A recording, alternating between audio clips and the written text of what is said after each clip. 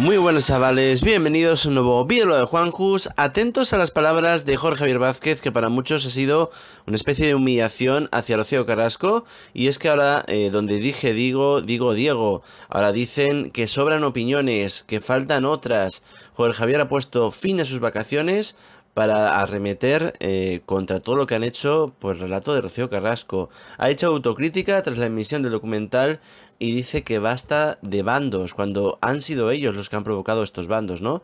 Dice estar cansado de la crispación que hay en el país y no está dispuesto a que Salame siga la misma estela. Por ello, tras un breve enfrentamiento con Belén Rodríguez y Kiko Matamoros, el presentador le ha pedido a todos eh, que los colaboradores tengan que poner fin ya de una vez a las polémicas y que remen a favor del programa eh, para sentirse sobre todo cómodos y que el programa vaya bien. Hemos perdido el tono, decía, y no podemos permitirnos esta posición.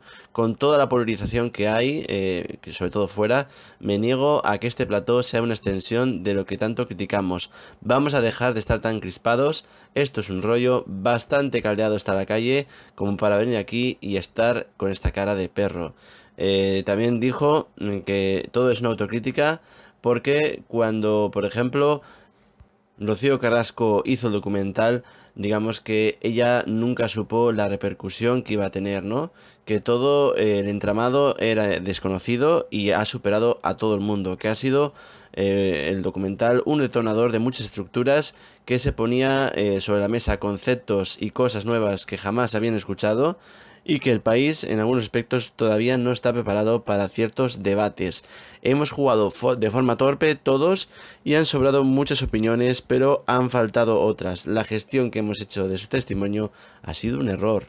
Que llama mucho la atención que esté diciendo todo esto.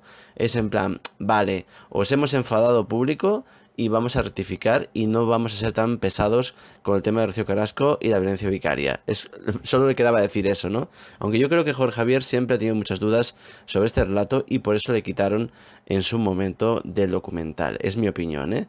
¿Vosotros qué pensáis? Eh, esto unido a las bajas expectativas de que se estrene pronto el documental por las medidas legales de Ortega Cano eh, hacen que la situación ahora mismo de Rocío Carrasco y Fidel sea un poco complicada, eh, sobre todo con los ingresos que esperaban por la segunda temporada de la serie.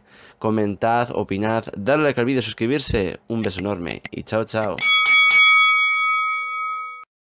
Si te ha gustado este vídeo, dale a like y suscríbete con campana para más noticias. Y si quieres conocerme, visita también mis vídeos diarios. Tienes cadena Juanjo Blog para más información de la forma más amena. ¡Nos vemos!